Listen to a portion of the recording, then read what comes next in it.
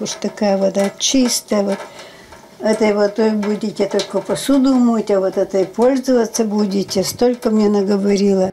Представители компании по продаже фильтров для воды названивали несколько дней, рассказывает Капиталина Захаровна. Активно предлагали продукцию даже бесплатно провели экспресс-экспертизу качества водопроводной воды при помощи специальных приборов. Ну, он стоял там у окна, но он не, не показывал мне, как он проверял, как что. Ну, рассказал плохая-плохая, все, я согласилась. 82-летняя пермячка подписала договор с фирмой «Аквапроект» на 9200 рублей. Таких денег у женщины не оказалось. Ей разрешили оплатить в рассрочку. Первый платеж составил 4000, но пенсионерка уже жалеет о содеянном.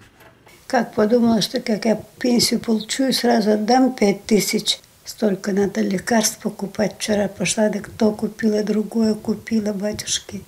Через некоторое время родственники сообщили Капиталине Захаровне, что она, по всей видимости, переплатила. В интернет-магазинах продают точно такие же фильтры по цене, раза в два ниже. И таких случаев только в индустриальном районе десятки. Схема одна. Распространители ходят по квартирам, настойчиво предлагают проверить качество воды, а после и приобрести систему фильтрации. Доверчивые, малограмотные и пожилые люди, как правило, соглашаются.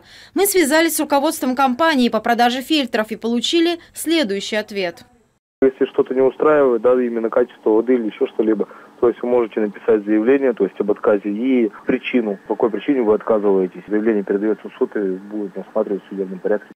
В свою очередь мы обратились в Роспотребнадзор. Нам сообщили, что качество водопроводной воды регулярно проверяется не кустарным способом, а в лабораторных условиях. И всем санитарным нормам живительная влага соответствует. А населению специалисты советуют не торопиться покупать предлагаемую продукцию. Всегда лучше взять паузу, рассказать о своих намерениях родственникам. Они помогут навести справки и взвесить все «за» и «против».